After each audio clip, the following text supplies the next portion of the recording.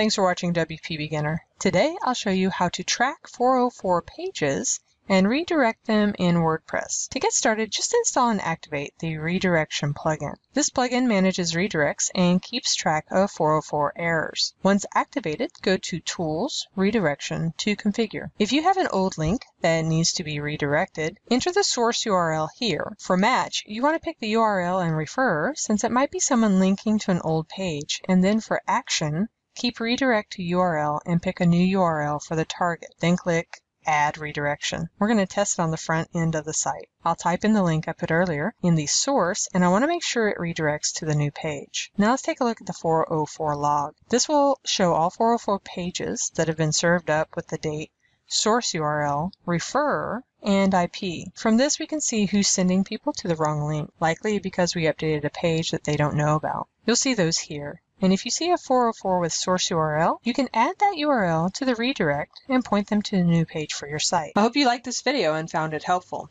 If you did, click on the like button below and leave us a comment. And if you want to receive more helpful videos, don't forget to subscribe to our channel and check out WPBeginner.com for more useful information on WordPress.